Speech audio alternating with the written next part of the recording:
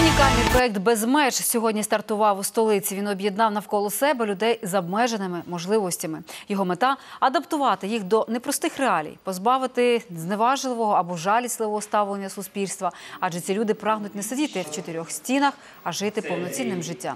Вони успішно реалізують себе у спорті, творчості і навіть у бізнесі. Зі сцени учасники проекту неодноразово зверталися до влади, аби їхнє життя стало нарешті безбар'єрним не лише на папері.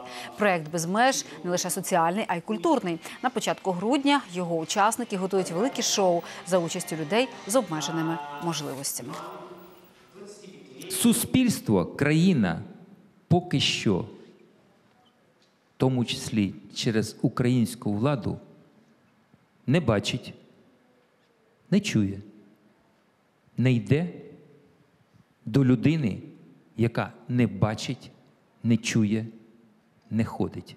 В жизни вообще, куда бы ты ни пошел, везде э, тебя воспринимают как неполноценного человека. Это означает, что они тебя недооценивают, и, можно сказать, э, ты э, начинаешь э, ну, меняться в худшую сторону.